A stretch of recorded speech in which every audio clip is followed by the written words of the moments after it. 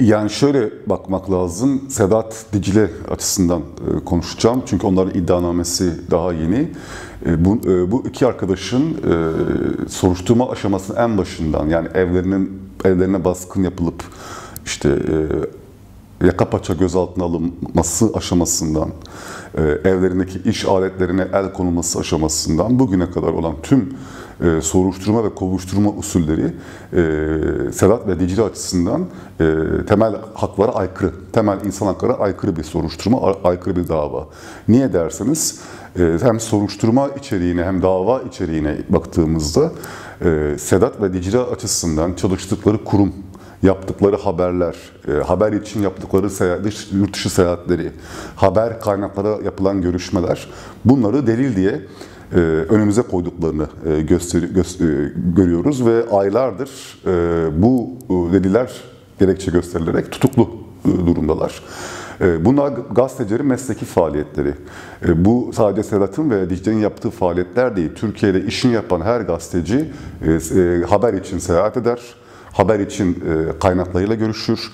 E, çalıştığı kurum hiçbir gazetecinin e, terörize edilmesini, kriminalize edilmesini sağlamaz. E, bunlar zaten e, tek başına veya toplu olarak da tutuklama için gerekli bir e, gerekçe değil. Bu davaların e, özü politik davalar. Bu davaların özü e, gazeteciliği bitirmek davaları. Bu davaların özü özellikle Kürt gazeteciliğini bitirme diye tanımlayabiliriz. Gazeteciler üzerine bakarsak zaten öncelikle Kürt meselesi e, ciddi bir e, çıkışsızlık noktasında yani iktidarla Kürt siyasal hareketi arasında ciddi bir kriz var, sürtüşme var. İktidar her bulduğu fırsatta Kürt siyasal hareketini pasifize etmek için uğraşıyor. İkinci olarak Türkiye'de insan hakları ihlalleri dediğimizde zaten bu ihlallerin büyük çoğunluğu Kürt kentleri de tarif edilen Kürtlerin çoğunlukta olduğu şehirlerde oluyor. Ve o şehirlerden de bize haber aktaran insanlar var. Bunlar da gazeteciler, bunlar da Dicle, bunlar da Sedat, bunlar da Abdurrahman Gök.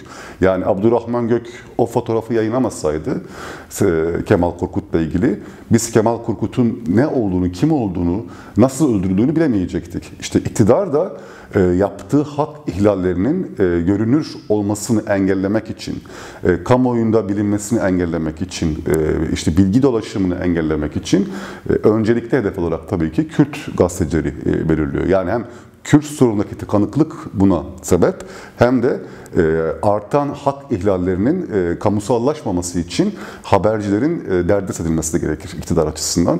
E, tabii bunu daha çok, çok çoğaltabiliriz ama belirgin iki tane temel sebebin bu olduğunu düşünüyorum ben. Yani e, olağan bir hukuk sisteminde e, Abdurrahman Gök'ün de Sedat Yılmaz'ın da e, Dicle Müftüoğlu'nun da e, hemen derhal tahliyesi gerekirdi. Yani değil e, gözaltına almak, değil soruşturma açmak, e, değil tutuklamak, bir tek, bir tek gün dahi gaz, e, gözaltına alınmaması lazım bu gazeteci arkadaşların. Ee, ama Türkiye'de olan bir hukuk sistemi olmadığı için, hukuk öngörülebilir olmaktan çıktığı için, e, temel yasalara, anayasaya uyulmayan bir yargı sistemi olduğu için nasıl evrileceğini bilemiyoruz. Ama bu davaların hakkı bu arkadaşların derhal tahliyesi ve beraatidir. Ulusal ve uluslararası kurumlara burada çağrı yapmak istiyorum. Ee, Diyarbakır da Aralık ayında 5-7-14 Aralık tarihlerinde Türkiye'nin en önemli gazetecilerden e, Sedat Yılmaz, Dicle Müftüoğlu, Abdurrahman Gök'ün duruşmaları var. Bu duruşmalara e, sahip çıkmak lazım, destek vermek lazım. E, savunması gereken temel noktayı gazetecilik olduğunu unutmamak lazım.